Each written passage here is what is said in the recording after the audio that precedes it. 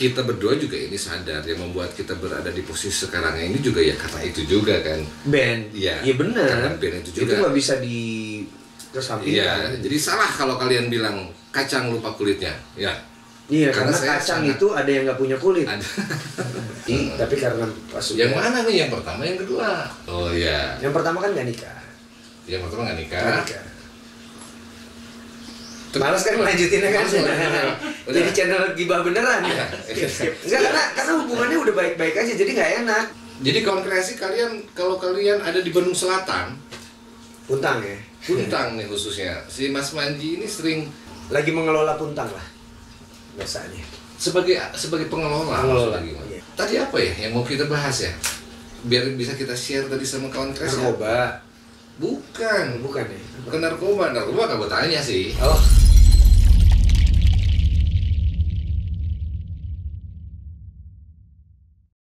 eh, Mas Manji ini dia bilang karena tadi kalau sekarang udah baik-baik saja. Iya. Ya maksudnya bukan berarti sebelum baik-baik saja itu gontok-gontok kan nggak gitu juga ya. Lumayan. Lumayan gontok-gontok. Lumayan, lumayan. Serang-serangan medsos gitu. Eh, nggak gitu juga kali? Nggak? Atau ada? Ada, maksudnya sampai kayak Anji dilarang membawakan lagu-lagu drive gitu. Ada kok di berita-berita juga ada. Cuma maksudnya sampai akhirnya kita ketemu di tahun beberapa tahun setelahnya. Jadi maksudnya Anji dilarang bawain tapi Anji tetap bawain ya udah. Karena memang toh kita ini ada yang bikin bikinnya barengan kok. Kenapa gua nggak boleh bawain? Orang lain boleh bawain kenapa gua nggak? Kayak gitu gitu kan. Dengan egonya masing-masing sampai akhirnya kita ketemu di satu titik udahlah kita omongin aja. Gini deh kalau gue bawain lagu drive. Eh gue kasih ini deh royalti ke Ke band. ke drive. Hmm. jadi sampai hari ini begitu?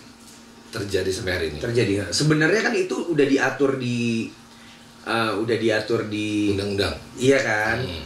ada performing rights. Tapi Betul. karena pengelolaan atau tata kelola industri musik di Indonesia belum benar betul. tidak transparan akhirnya itu harus dilakukan. Acak-acakan. Acak-acakan. Kenapa industri musik Indonesia kayak begini sistem royaltinya. Itu kemarin si Bade juga baru aja posting tentang performing rights. Dia cuma dapat kecil banget gitu. Nah akhirnya saya dan Drive berkompromi kami diskusi ya udah deh pokoknya gini aja kalau gue bawain lagu Drive gue kasih kalian langsung sekian. Hmm. gitu. Itu dimasukin ke dalam budget oke jadi dihitung nih dalam satu bulan Anji manggung misalnya 10 kali Iya. bawain lagu drive misalnya 10 kali oke satu kali bawain berapa Hmm. satu juta misalnya berarti 10 juta Hmm. kasih gitu ya setidaknya jadi ketemu sebuah jalan daripada harus Iya. gontok-gontokan gitu kan Iya betul betul dan eh, maksudnya eh, kita berdua juga ini sadar yang membuat kita berada di posisi sekarang ini juga ya karena itu juga kan band Iya. iya benar Karena band itu juga. nggak bisa di Iya kesampingkan jadi salah kalau kalian bilang kacang lupa kulitnya ya. Iya Karena karena, kacang sangat- itu ada yang nggak punya kulit. Ada. Cuma bener-bener gue berubah aja deh ininya. Karena ada kacang yang tidak kategorinya? memiliki kulit. Eh, enak ada woy. enak. Enak.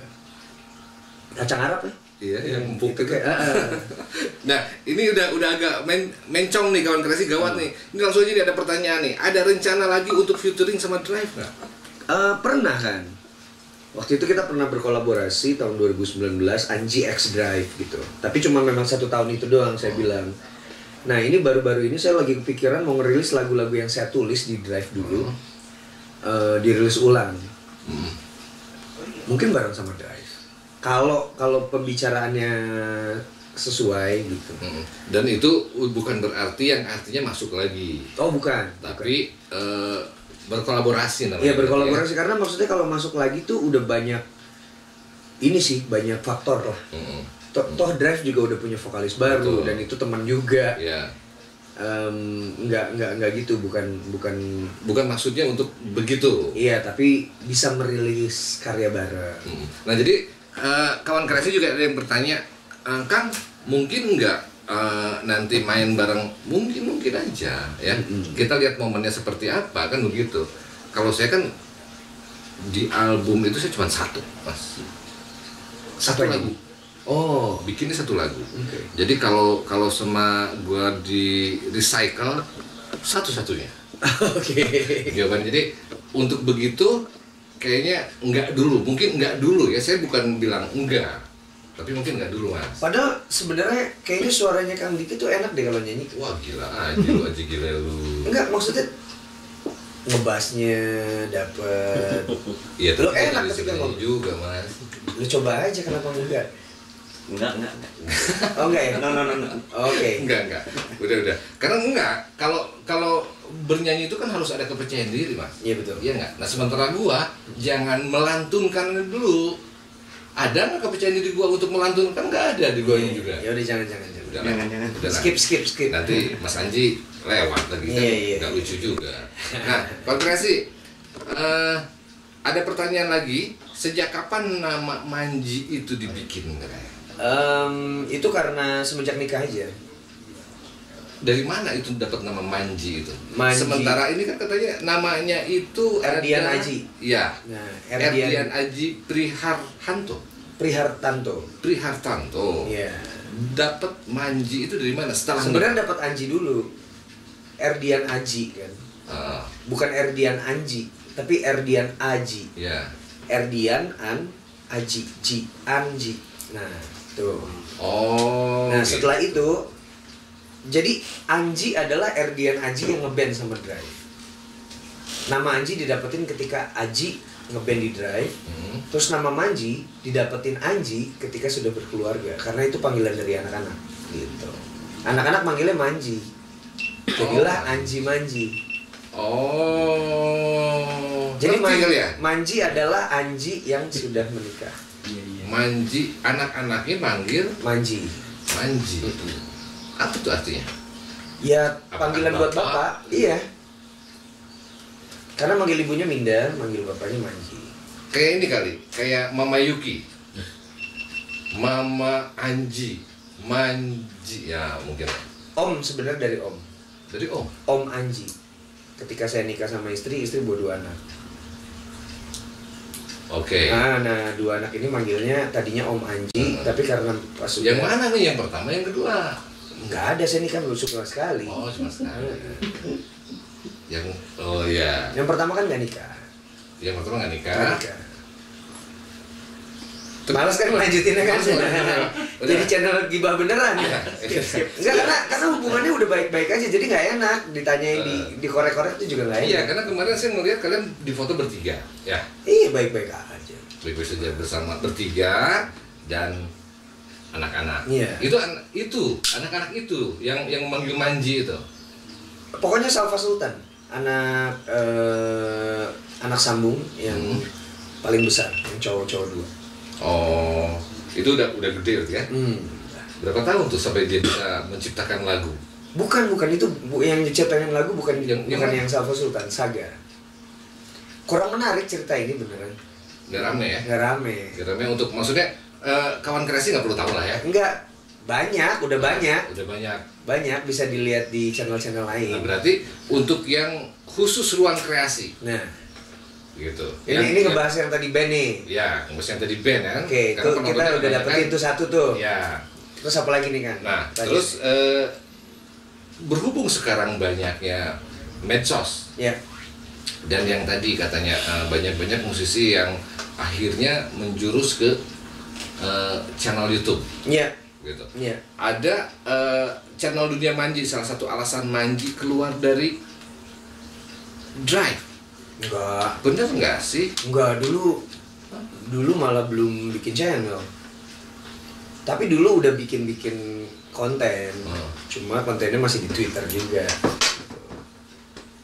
Oh, jadi bukan bukan channel ya, cuman mungkin medsos ya. Konten lah ya. Nah, Konten. media sosial karena waktu tahun 2011 tuh YouTube belum bukan seperti sekarang. Ya. Orang YouTuber Indonesia pertama aja tuh mm, kayak kayak Tim Tuan, terus Hmm. Skinny Indonesian 24 itu baru mulai 2009 deh. Hmm. Nah, apalagi kalau yang kalangan artis tuh baru mulai 2018, 2019 tuh baru mulai itu kalangan artis. Saya mulai 2012. Iya karena karena kekinian ya. Ini nih, bagaimana sih bagaimana sih menurut Anji untuk sebuah band bisa lebih awet? Udah, tadi udah dijawab. Ya. Dalam berkarir entah itu eh, apa sih yang bikin Anji saat itu yakin untuk keluar? Udah. Hmm. Ngomong ngomongin saga nih hari ini. Ya. Nih ada pertanyaan salah satu anak dari Anji. Ya. Jadi total lu anak ada berapa? Lima. Lima. Lima. Yang pertama, eh yang pertama, yang nggak menikah Ada di Bali. Berapa 12 orang tuh? Satu, satu. satu. Yang ini Ada empat. ada empat. Yang saga itu berarti Anak keempat. anak keempat. Salah satu anak dari sempat bikin lagu berjudul Telur Dadar dan lagu Ikan. Ya. Bakal ada rencana lagi. Enggak, Anji untuk bikin lagu untuk Saga. Itu bukan lo yang bikin kan? Bukan. Yang Emang bikin, dia sendiri? Dia sendiri yang bikin. Nah, jadi sekarang tuh sebenarnya setelah ikan, dia ngerilis lagi lagu judulnya Kenapa. Gitu. Cuma em, di situ tuh dia passionnya lagi nggak lagi nggak mau bermusik. Jadi ya udah saya nggak mau paksain. Hmm. Karena memang namanya anak-anak jangan dipaksa gitu. Itu lagu kenapa itu menceritakan apa? Ya pertanyaan-pertanyaan yang dia aja. Kenapa sih kita keringetan? Kenapa bayi Iya. suaranya oe? Heeh. Kenapa bayi nggak bisa ngomong kayak gitu gitu? Berarti apa yang bikin Anji membuat lagu untuk Saga itu bukan itu pertanyaannya Bukan. karena memang Itu lagu-lagu yang saya Mas sendiri. Anji nggak nggak Ya, ya oke Bukan saya yang bikin lagi. ya nggak ada memang eh, ada nggak kepikiran misalnya gini ada Bikin lagu anak? bikin lagu anak Kayaknya enggak deh. Karena sudut pandang saya sama sudut pandang anak-anak tuh maksudnya setelah saya ngelihat anak saya bikin lagu, Hmm. saya ngelihat kayak oh memang beda ya pola pandangnya. Orang dewasa yang bikin lagu untuk anak-anak sama anak-anak sendiri yang bikin lagu itu beda. Karena buat mereka telur dadar aja bisa jadi lagu gitu. Telur dadar kamu di mana telur dadar eh, kamu pergi ke mana telur dadar aku mencarimu Hmm. aku pengen makan telur dadar udah gitu doang jadi lagu ya ternyata disukain sama anak-anak lainnya orang jutaan kok Heeh. lagunya ditontonnya artinya oh sudut pandangnya bukan sudut pandang orang dewasa kalau saya yang bikin lagu judulnya telur dadar pasti saya akan bikin ceritanya tentang telur dadar dibikinnya gimana Ah. gitu kalau ini enggak dia, dia nyariin telur dadar karena dia lapar ya ya ya gitu dia pengen makan telur dadar sepemikiran gitu. dianya gitu ya Iya, jadi kayaknya kalau lagu anak-anak mau biarin anak-anak aja yang bikin. Sekarang PR-nya adalah bagaimana caranya kita merangsang anak-anak untuk bikin lagunya sendiri. ya nah itu mas Nah itu ada metodenya pasti kan. Iya har- harusnya tapi eh, di di sekarang ini mungkin hanya bisa di media sosial ya untuk meriliskan karya-karya itu ya karena nggak bisa bentuk fisik juga ya. Ya Agak sekarang karya-karya orang dewasa juga dirilis fisik juga susah. Oh. Bisa, tapi susah. Ya itu berlaku buat lagu anak-anak juga pastinya dong. Bisa aja Iya, dirilis se- fisiknya. Iya se- setiap lagu lah ya. Hmm. Nah eh, rencana terdekat nih, eh, Mas mau ngapain kira-kira? Banyak sih. Banyak, Banyak. banyak. Nah, termasuk yang jadi kawan kreasi kalian kalau kalian ada di Bandung Selatan, Puntang ya. Puntang nih khususnya. Si Mas Manji ini sering sering eh, Lagi mengelola puntang lah. Biasanya. sebagai sebagai pengelola, Pengelola, gimana? iya. Yang artinya mengelola apa tuh Mas maksudnya? Biar orang tempat banyak yang datang atau Iya, gimana? iya. Jadi di sana ada camping ground dan lain-lain. Tapi intinya adalah sebenarnya saya bikin venue, Hmm.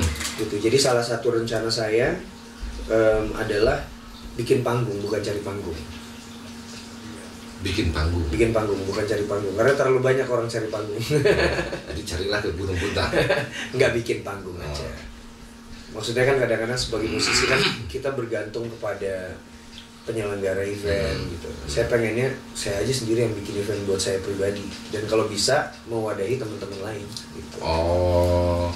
Tapi ada stage-nya di sana. Eh kita belum ke sana, kita ke sana tuh, men. Belum kan ini sibuk kubur sibuk. Sekarang Iya. udah musimnya lagi beraktivitas. Iya, karena sekarang udah endemi katanya. Iya, Endemi lagi. semoga jadi endemi. Semoga jadi endemi. Belum sih belum dikeluarkan pernyataan resmi dari pemerintah bahwa COVID itu udah endemi belum. Nah, Tapi selama udah diizinkan lah ya. selama kemarin nih terdampak nggak mas? Terdampak pasti. Nggak bisa melakukan apa pun gitu. Nah itu saya saya menolak itu. Saya menolak untuk tidak bisa melakukan apa pun Hmm. karena em, sebenarnya naluri manusia itu adalah beradaptasi dari dulu beradaptasi dengan keadaan jadi saya tuh selalu saya tuh selalu berpikiran adaptasi atau mati berubah atau punah jadi kalau kita nggak mau mati ya kita beradaptasi dengan keadaan gitu. Ngikutin arus yang sekarang sedang berlangsung. Eh, menyiasati menyiasati. Hmm, menyiasati Walaupun ada keadaan. ada ada ke perbedaan dengan kebiasaan kita dengan Iya. kondisi. Iya. Bagaimana menyiasatinya, Mas? Em, ya itu salah satunya dengan bikin panggung gitu. Menyiasati keadaan ketika em, aduh panggung-panggung kita terlalu bergantung nih kepada penyelenggara ya bikin aja sendiri deh panggungnya Hmm. gitu terus kayak misalnya lagi nggak bisa bikin lagi nggak bisa manggung-manggung ke mana-mana ya udah bikin aja panggungan online misalnya manggung di rumah aja Hmm, Jadi kayak konser virtual gitu ya. Ya kayak itu itu kan sebenarnya kan salah satu konsep Ya. adaptasi kan Ya. maksudnya terjadi di lingkungan kesenian pada umumnya Hmm. gitu. Oke. Adaptasi. Eh, tadi apa ya yang mau kita bahas ya? Biar bisa kita share tadi sama kawan kres ya? Narkoba. Bukan, Bukan ya? bukan narkoba. Narkoba gue tanya sih. Oh, Bukan gue. Tapi maksudnya yang artinya menanyakannya, oke lah, eh, udah udah narkoba nih. Kan banyak banget nih mas, nggak sedikit lah para musisi penggiat seni. ya, Jangan langsung musisi lah, ya, penggiat seni. ya. untuk kita yang bisa kita obrolkan karena Iya. sebetulnya narkoba itu bukan cuma pegiat seni kan ada beberapa orang-orang bahkan di pemerintahan Ya, ya bahkan wakil rakyat pun ya. ada yang yang, yang seperti itu nah untuk di dunia di dunia kita nih mas untuk eh, selalu selalu eh, Identik. identik dengan dengan narkoba Sebenarnya enggak juga sih. Hmm. Cuma manusia sebenarnya bukan di dunia kita sih. Karena kemarin aja hakim ketangkep dua hakim. narkoba juga Hak dan hakimnya itu yang suka menangani kasus narkoba juga. Dia terus pakai narkoba terus ke mana? pengen nyoba kali ya Ketularan. Enggak ini apa studi kasus. ya. Nah. Jadi sebenarnya nggak identik. Banyak juga musisi yang enggak, Oh. banyak juga seniman yang enggak gitu. Cuma kalau saya, kalau saya kan bukan lebih ke untuk bermusiknya gitu. Hmm. Untuk Eh kesehatan. nggak maksudnya gini, lu ngeganja nih Ya. dan lu bilang kesehatan, Hmm. emang ada pengaruhnya? Ada dong. Jangan ditiru ya. Iya jangan Jangan jangan ditiru. jangan ditiru di Indonesia. Ah, ah, Gitu. Kalau di luar negeri masih silakan kalau di tempatnya Iya. legal ya. ya. Kalau di Indonesia jangan. Hmm. Kesehatannya dampaknya apa tuh mas? Iya. Yang kerasa. Lebih calm, lebih tenang. Terus mem- memang eh, ini bisa di bisa di googling ya. Ah, Em, apa namanya ada ada beberapa senyawa yang bisa membuat tubuh kita lebih oke. Oke.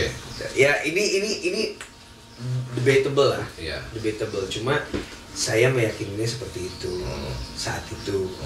Ya sebenarnya saat ini juga tapi karena memang secara hukum tidak bisa Tidak boleh. tidak boleh ya jangan ya saya sih menghimbau sih teman-teman juga jangan deh nggak enak banget soalnya di penjara sama di rehab tuh Iya.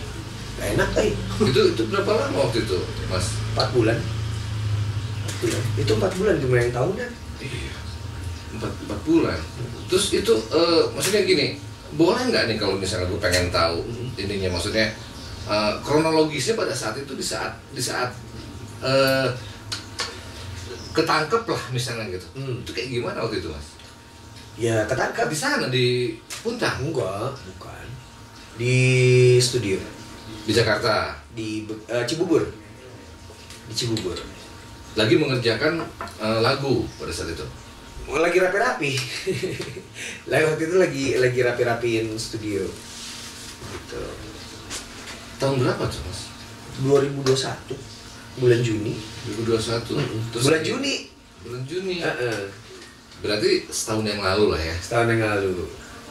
Langsung eh, rehab, langsung direhab pada saat itu. ya tapi sempat ada di tahanan titipan dulu ngerasain jeruji lah di itu maksudnya di kantor yang nangkepnya. Jadi bukan maksudnya bukan di belum oh, belum sempat ke lapas. nggak mau juga sih Jadi akhirnya rehabilitasi 4 hmm.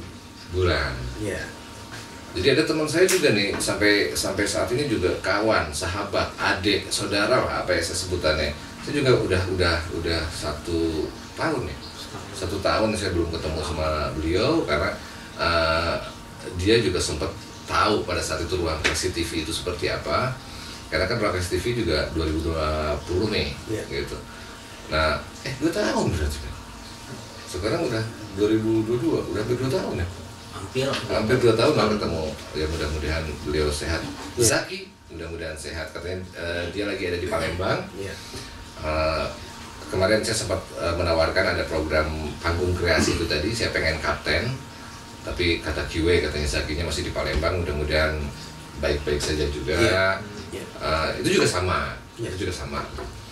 Nah Mas itu juga nggak rame ya? Apa? Ngebahas itu mah ya? Nggak rame ya? Udah udah banyak lah. Mas Anji eh, beritanya udah banyak. vokal eh, vokalis drive. Iya. Oh ketangkap udah udah. Tapi yang jelas sih gini kalau yang tentang pembahasan tentang narkoba kita tuh punya egoisme sendiri, punya alasan-alasan sendiri untuk pakai narkoba. Cuma kalau yang saya dapetin nih, yang saya dapetin akhirnya apa ya? Itu jadi egois. Jadi egois kecuali kamu mau tinggal sendiri dan kamu siap menanggung segala resikonya ya silakan gitu. Cuma ya ketika kita udah mulai masuk ke dalam ranah narkoba ya udah pasti ada satu resiko besar bahwa lo akan dihukum. Betul. Itu aja. Jadi kalau emang udah siap dihukum ya mangga. Kalau sama udah nggak mau lagi. Iya. Udah ngerasain ya iya. walaupun banyak orang yang mengulangi mengulangi tapi kalau buat saya pribadi nih kang Hmm. itu kemarin tuh rasanya nggak enak banget. Karena banyak yang berhenti. Eh, tim berhenti Ya, bekerja ya. keluarga eh, dengan segala macam kecemasannya dan lain-lain. Jadi beda lah ya belum lagi kalau misalnya yang malu malunya gitu. Ya walaupun em, saya nggak ngerasa malu gitu cuma kan belum tentu keluarga saya tidak merasa gitu. Gitu ngelihat di borgol. Ya ya jadi kalau saya mau males ya jadi lagi. jadi segala sesuatu itu pasti ada resikonya. Iya. nah nanti kalian berarti kalian harus pintar-pintar memilih resiko apa yang pengen kalian dapatkan. Lebih baik berkarya kalau kata gue karena resikonya beken. Ya. Iya. Lebih baik membuat karya tetap bakal ada resikonya. Iya. tapi ya kalian silakan pilih-pilih resikonya mau yang mana. Ya resikonya sedih kalau nggak laku gitu. Nah kalau nggak laku ya sedih. Tapi saya lagi belajar satu hal nih. Ya stoikisme filsafat stoikisme stoicisme atau stoa gitu Hmm. jadi yang gini jangan mencoba untuk mengontrol hal-hal yang tidak bisa kita kontrol jadi kalau misalnya konteksnya berkarya Iya jangan terlalu menaruh ekspektasi kepada karya kita yang berhubungan dengan orang lain. Maksudnya orang lain bakal suka, bakal hits, bakal booming, Hmm. itu nggak usah dipikirin sih. Kita berpikir yang bisa kita kontrol karena itu nggak bisa kita kontrol tuh kan. Betul. Iya kan? Betul. Walaupun kita punya budget gede buat promosi, ya kalau nggak tepat atau nggak masuk aja ya udah nggak nggak jadi juga gitu. ya Jadi yang bisa kita kontrol adalah kita ketika memproduksinya dengan dengan kebiasaan kita, dengan em, daya kreasi kita kita maksimalin untuk bikin karya ketika udah jadi dan kita puas udah cukup sampai situ.